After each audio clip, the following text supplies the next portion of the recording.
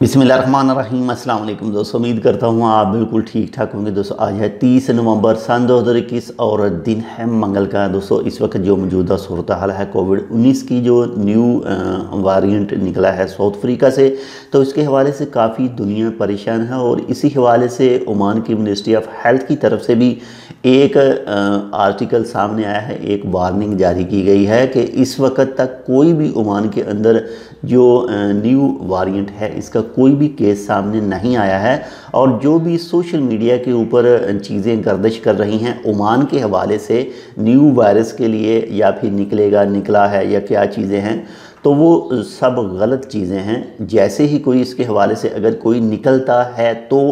तो भी ministry of health की तरफ़ से अनाउंसमेंट की जाएगी, बताया जाएगा। और अल्लाह करे कि ये न्यू वेरिएंट ओमान के अंदर ना ही निकले तो यही सबसे अच्छी बात है। इसके अलावा जो छः से सात ममाल के ऊपर पाबंदी लगाई गई है, जो इंट्री बैन की गई है तो वो सिर्फ़ एक आर्जी पाबंदी है, ताकि जो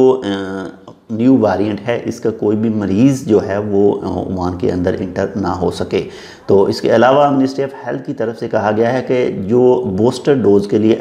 एलिजिबल हैं, वो जल्दी से जल्दी अपनी बूस्टर डोज़ लगवाएँ और जितनी भी एहतियाती तदाबीर हैं कोविड उन्नीस के हवाले से वो लाजम फॉलो करें, यानी मास्क ज़रूर पहने, जो डिस्टेंस है वो लाजम रखें, अपने हाथ जो हैं वो बाकायदगी से किसी अच्छे सोप के साथ उसे हाथ सफ़ाई करते रहें, वाश करते रहें, और जितनी ज़्यादा एहतियात करेंगे उतना आप तमाम दोस्तों के लिए भी अच्छा है और आपके साथ जो रहते हैं उनके लिए भी। तो किसी भी जो भी आपको न्यूज़ चाहिए वो जो ऑफिशियल न्यूज़ सोर्स हैं ओमान के आप वहाँ से हासिल कर सकते हैं। अगर आ, अगर आपके पास कोई भी ऐसी न्यूज़ सोशल मीडिया के ऊपर आए जो कि आपको लगता हो कि फ़ेक हो तो उसे आपने अपने सोशल मीडिया अकाउंट में कहीं भी शेयर नहीं करना है। वो चाहे फेसबुक हो व्हाट्सअप हो इंस्टाग्राम हो या फिर टिकटॉक हो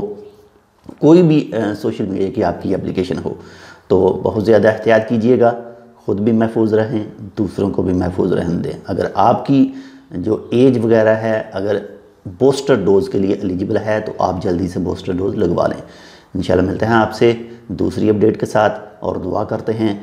कि कोई भी जो न्यू वायरस है, वो सामने ना आए, जल्दी से जल्दी ये ख़त्म हो जाए और हमारी जो ज़िंदगी इस वक्त पहले से थोड़ी सी रूटीन पर आ चुकी है, ये मज़ीद रूटीन पर वापस आ सके। अल्लाह हाफ़